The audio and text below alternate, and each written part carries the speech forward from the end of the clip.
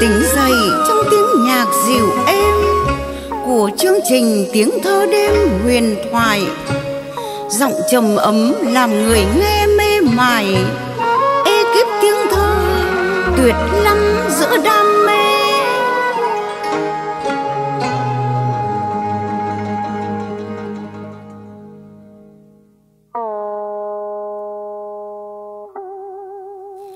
Nửa đêm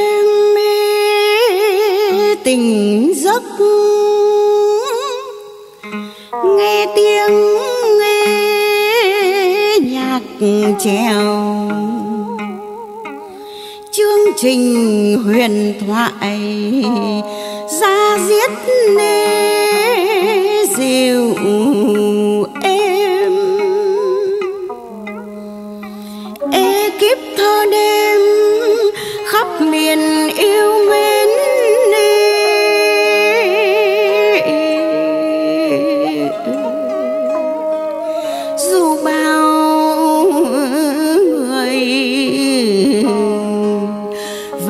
giấc ngủ say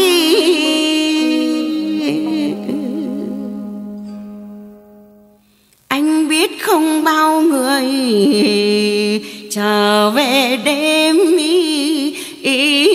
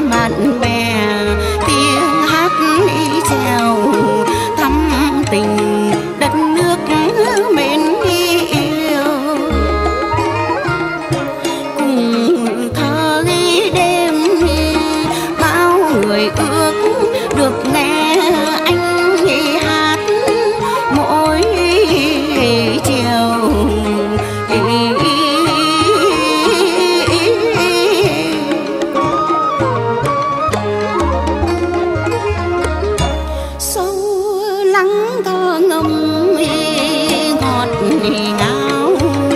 Lời ru của mẹ ý ơi, những đêm đi khuya cảm thấy như đang say nồng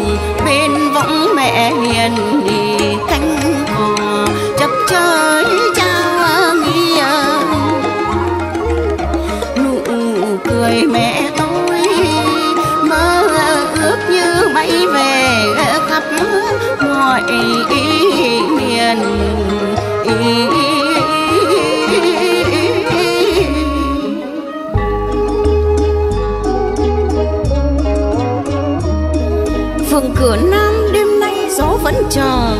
Em đến thăm giò lam tím trên tay. Chị và anh, nàng thơ mãi mê say. Trong câu chuyện của tình thơ tình bạn